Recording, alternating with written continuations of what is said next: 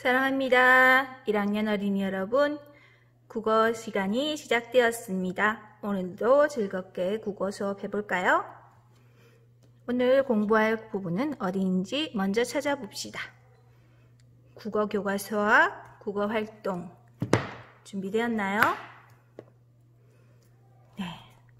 오늘 공부할 부분은 국어 교과서 98쪽, 99쪽입니다. 오늘은 글자에서 자음자와 모음자가 있는 곳을 알아볼 텐데요. 지난 시간에 우리 글자를 만들 때는 자음자와 모음자가 필요하다고 했죠? 네, 각각의 자음자와 모음자가 어떻게 소리를 내는지 한번 알아보았었는데요.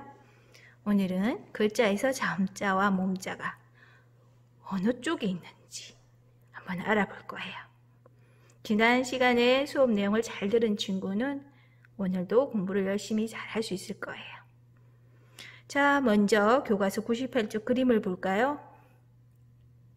어, 혹시 이 그림을 보고 이야기가 생각난 친구도 있을 것 같은데 네, 이야기 속에서 여우와 학은 조금 사이가 나빴죠.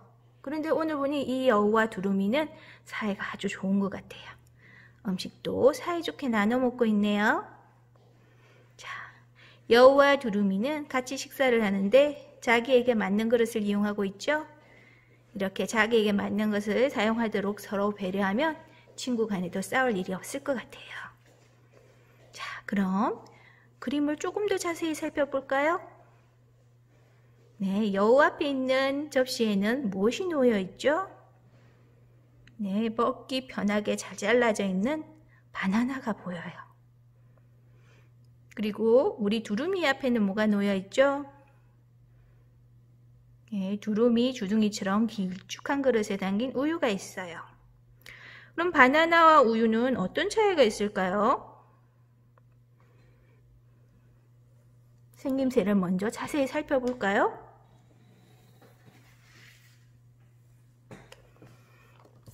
네. 자, 바나나와 우유의 생김새를 살펴볼 텐데요. 우리가 바나나는 이렇게 쓰죠. 바, 나, 나. 네. 그러면 자음과 모음의 위치를 비교해서 알아볼까요? 먼저 바, 비읍에 아를 붙이죠. 자, 바자일 때 자음자는 어느 쪽에 있죠? 네, 왼쪽에. 그럼 모음자는요? 자음자의 오른쪽에 있어요. 오른쪽에 보이나요? 그럼 나는 어때요?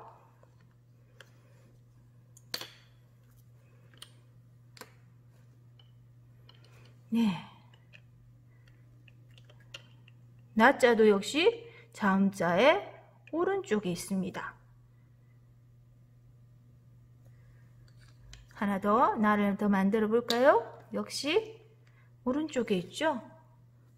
바나나는 이렇게 모음자가 자음자의 오른쪽에 모두 있는 글자예요. 그럼 우유는 어떤가요?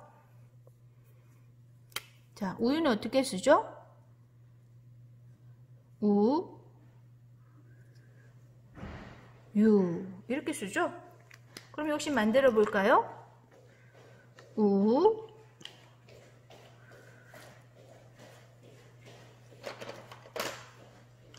유. 네. 자, 역시 모음자는 같은 위치에 있는데요. 자음자의 어디에 있나요? 네.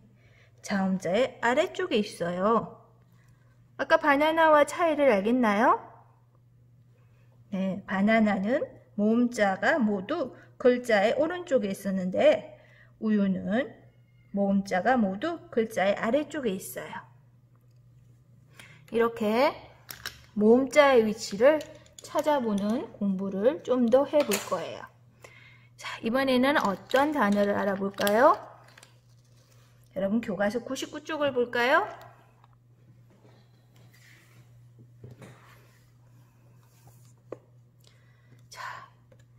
글자에서 모음자가 있는 쪽을 알아볼 텐데요.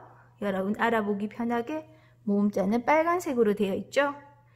여우를 볼까요? 여우의 자음자 이영 옆에는 오른쪽에는 여가 있죠. 모음자가 오른쪽에 있습니다. 우는 어때요?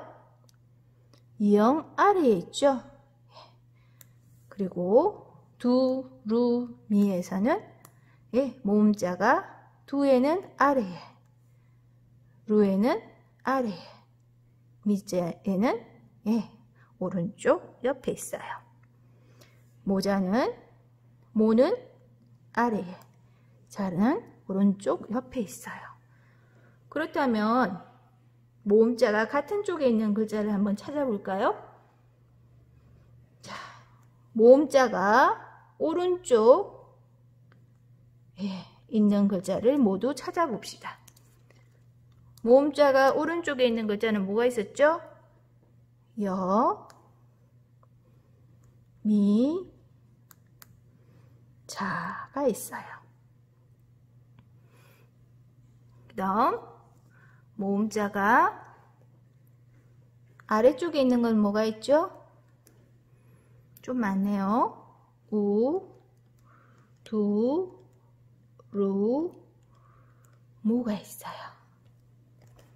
네, 모두 잘 찾았나요? 네, 좋습니다. 이렇게 글자에는 모음자가 있는 곳이 있고요. 그 위치는 모음자의 생김새에 따라서 조금씩 차이가 있어요. 모음자의 위치를 알아보는 활동을 좀 더 해봐야겠죠? 어디에서 하면 좋을까요? 네, 여러분 국어 활동에서 하면 되겠죠?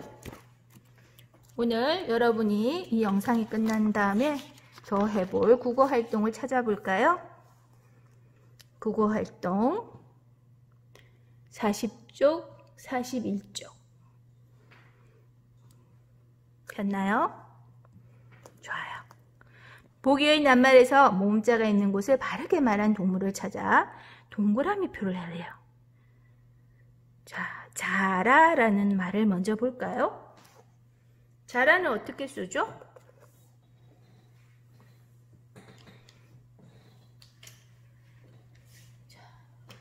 자라 써보았나요? 그럼 몸의 위치는 어디에 있나요? 자, 라,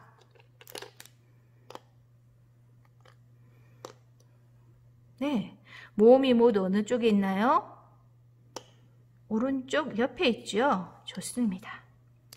그래서 친구가 뭐라고 말하는지 들어볼까요? 호랑이는 뭐라고 하나요? 점자의 오른쪽에 있어요. 기리는 점자의 아래쪽에 있어요. 누구 말이 맞아요? 네, 아까 오른쪽에 있었죠? 네, 동물은 호랑이가 맞게 말했네요. 자, 나머지는 여러분이 직접 해봐야겠죠? 천천히 배운 내용을 생각하면서 공부를 마무리하도록 하세요. 어, 선생님 이건 너무 어려워요 하면 다음에 선생님이 학교에 왔을 때 도와줄 거예요. 부모님께 살짝 물어봐도 좋아요. 그러면 영상이 끝난 다음에 국어 활동까지 마무리하면서 오늘 공부를 정리해 보도록 하세요. 다음 시간에 만나요. 안녕.